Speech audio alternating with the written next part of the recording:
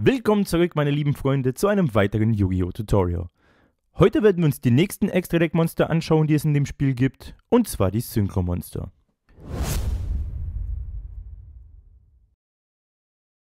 Wie sie genau beschworen werden und was es dabei zu beachten gibt, werden wir uns gleich gemeinsam anschauen.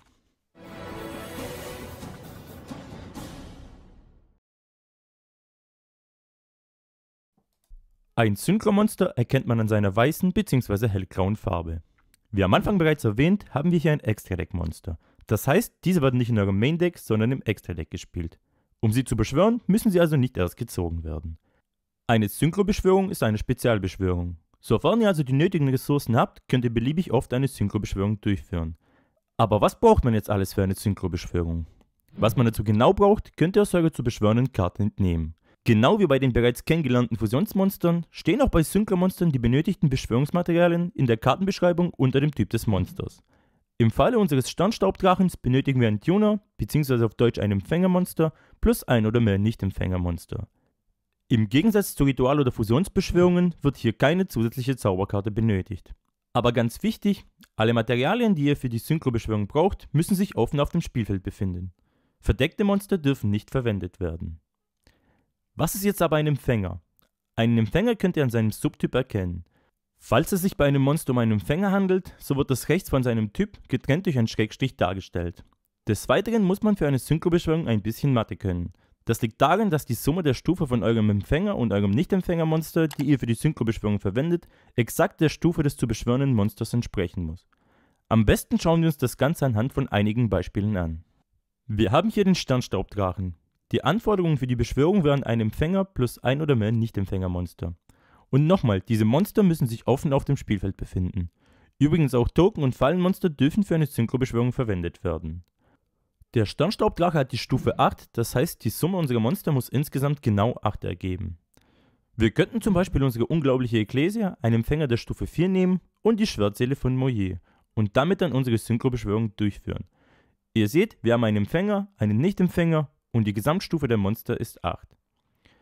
Wir könnten aber auch den Weißer Starfrost nehmen, einen Empfänger der Stufe 6 und den Sprite Blue, Nicht-Empfänger Stufe 2 und dann auch so den Sternstaubdrachen beschwören, denn auch 6 plus 2 ergibt ebenfalls 8. Da der Sternstaubdrache aber sagt, dass man einen Empfänger plus ein oder mehr Nicht-Empfängermonster für die Beschwörung braucht, können wir da auch mehr als nur zwei Monster verwenden. Wichtig ist nur, dass die Summe der Stufen nachher stimmt. Wir könnten also erneut unsere unglaubliche Ekklesia nehmen und unser Sprite Blue und dazu dann noch ein drittes Monster. Da wir bereits Monster haben, die Stufe 6 ergeben, fehlen uns nur noch zwei Stufen und da könnten wir zum Beispiel den Sprite Jet nehmen. Was aber nicht funktionieren würde, ist, dass wir zweimal je Ekklesia nehmen würden. Ihr seht, wir haben zwar insgesamt Stufe 8, ein Empfänger ist auch dabei, aber was wir jetzt nicht haben, ist ein Nicht-Empfängermonster. Dazu kommt auch noch, dass wir jetzt zwei Empfänger haben und wenn wir uns noch einmal die Beschwörungsbedingungen des Sternstaubdrachens anschauen, so steht da explizit drin, ein Empfänger und ein oder mehr Nichtempfänger. Für uns bedeutet das also, bei den Nichtempfänger können wir mit der Anzahl variieren, aber wir dürfen maximal nur einen Empfänger verwenden. Nicht alle Monster sind aber auch so generisch wie der Sternstaubdrache. Naturia Ungeheuer zum Beispiel braucht für die Beschwörung ein Erde-Empfänger plus ein oder mehr Erde-Nichtempfängermonster. Das heißt, sowohl der Empfänger wie auch die Nichtempfänger müssen die Eigenschaft Erde haben und da Nadoya ungeheuer ein Monster der Stufe 5 ist, muss die Summe der Materialien insgesamt 5 ergeben. Ein weiteres Beispiel wäre der Kristallflügel Synchrodrache. Hier brauchen wir einen Empfänger und ein oder mehr Nicht-Empfänger Synchromonster. Ihr seht, bei dem Empfänger sind wir zwar ganz generisch, sprich da haben wir keine Einschränkungen und dürfen alles nehmen, aber der Nicht-Empfänger muss ein Synchromonster sein. Wir müssen also im Vorfeld schon mindestens eine Synchrobeschwörung durchgeführt haben. Schauen wir uns nun das Ganze mal in der Praxis an. Ich habe meine beiden Monster bereits offen auf dem Feld. Wie mehrmals erwähnt, die Monster müssen sich offen auf dem Feld befinden. Weder Monster in der Hand noch verdeckte Monster funktionieren da. Für die Beschwörung müsst ihr einfach ansagen, dass ihr eine Synchrobeschwörung durchführt und das Material auf den Friedhof legen, um euren Monster zu beschwören. Da das Ganze eine Spezialbeschwörung aus dem Extra-Deck ist, könnt ihr es euch aussuchen, ob ihr das Monster in einer der fünf Main-Monster-Zonen platziert oder in die Extra-Monster-Zone. Des Weiteren könnt ihr euch zwischen der offenen Angriffs- oder Verteidigungsposition entscheiden. Wie bei allen anderen Extra-Deck-Monstern gilt auch für die Synchro-Monster, dass diese erst korrekt beschwören werden müssen, bevor man sie wiederbeleben kann.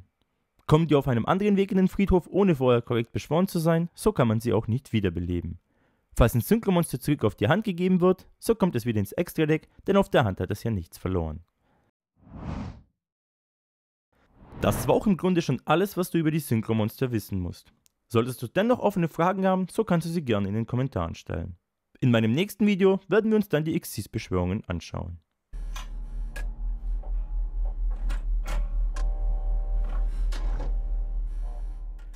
Falls du es also nicht verpassen willst, denke bitte daran, diesen Kanal zu abonnieren. Vielen Dank fürs Zuschauen und bis zum nächsten Mal.